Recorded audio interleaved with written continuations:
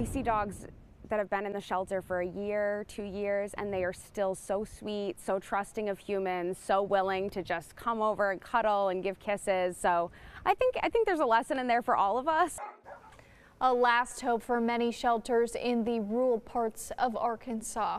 This week, a group from Massachusetts came down to the natural state to help out several animal shelters in the area.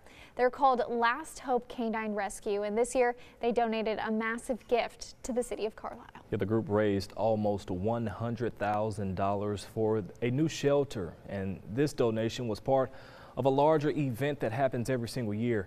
Madison Gaffner joins us live in studio. Madison, tell us about the trip. Well, Gary, Jessica, they both shared that for these rural area shelters, this is sometimes the only help that they receive throughout the year, and that they wouldn't be able to provide these animals, excuse me, for these animals without it.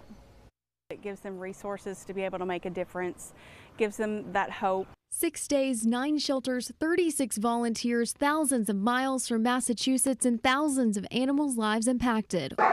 All because of almost $100,000 raised. Amber Zyjak seeing these lasting effects at Last Hope Canine Rescue leaves, starting in Monticello. They were upgrading a, a, room that was used to be used for storage in the shelter to make it into like a medical quarantine room for the dogs. Alexa Collins explaining the importance of in-house treatments. Then on to Pine Bluff. We put in four AC units at one of the shelter buildings helping to cool the animals and dry the ground for better cleaning and safety, but also helping with the animals' behavior. All of the dogs had sort of stopped barking and whining and just kind of like laid down and started relaxing, no more panting. So something like that for dogs that are in a shelter can make such a big difference. Then out to Carlisle for their biggest project, building a whole animal shelter. From this to this. And so this year for the first time we are putting up a building. You can see it behind me.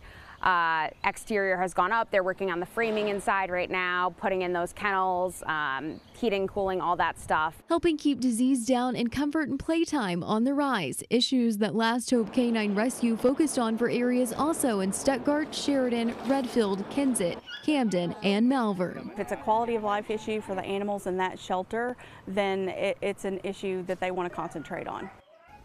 These volunteers explained that all the money raised went directly toward the animal shelter.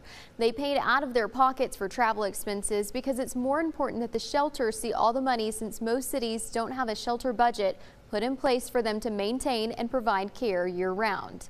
I'm Madison Gaffner reporting live here in studio. Now back to you.